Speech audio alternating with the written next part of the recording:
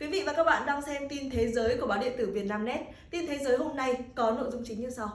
Tân Hoa xã nêu lý do ông Hồ cầm đào được hộ tống rời phiên bế mạc đại hội 20.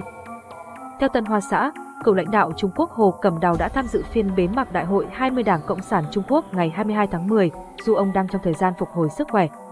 Ông Hồ Cẩm Đào, 79 tuổi, nguyên là Tổng bí thư khóa 16 đến 17, nguyên Chủ tịch nước Trung Quốc.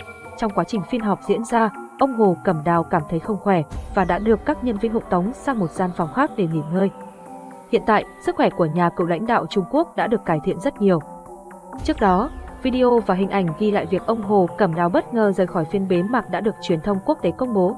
Tại phiên bế mạc Đại hội 20 của Đảng Cộng sản Trung Quốc, các đại biểu đã bầu ra thành viên Ban chấp hành Trung ương Đảng khóa 20 và thành viên của Ủy ban Kiểm tra kỷ luật. Tổng Bí thư, Chủ tịch Trung Quốc Tập Cận Bình cho biết, đại hội đã hiện thực hóa các mục tiêu thống nhất tư duy, củng cố lòng tin và nâng cao tinh thần.